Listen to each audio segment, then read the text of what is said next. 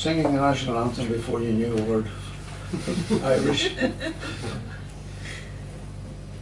Altar boy. I cycled to town rehearsing the Latin responses. Dam quel toffee cat juva to me. Me a cowboy, me a cowboy, me a Mexican cowboy.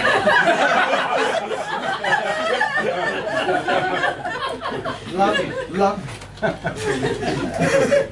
I don my surplice and soutane, ring the handbell, and follow the priest onto the altar. The congregation stand. I am the half priest, perfectly on cue for the next 40 minutes.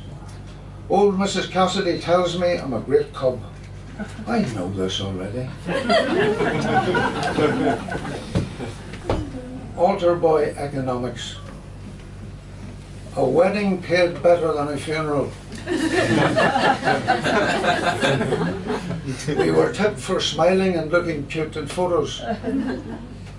Though sometimes a funeral paid better, the mourners at a loss and wanting to be thought generous.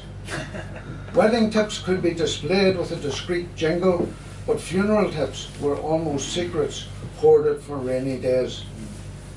A christening did not require an altar boy. Christenings were, economically speaking, a dead loss.